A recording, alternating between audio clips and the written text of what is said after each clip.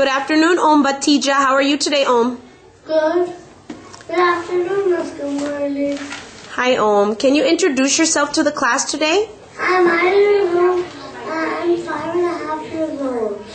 Today going to talk about don't be like somebody else.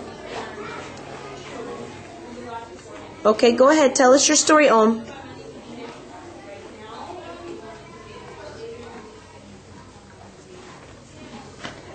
Can you tell us a story about one time when you tried to be like someone else and what happened?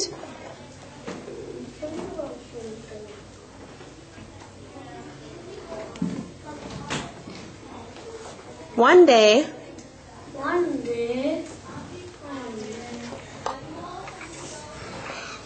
it's okay. One day, what happened? Did you forget? Can you think of something?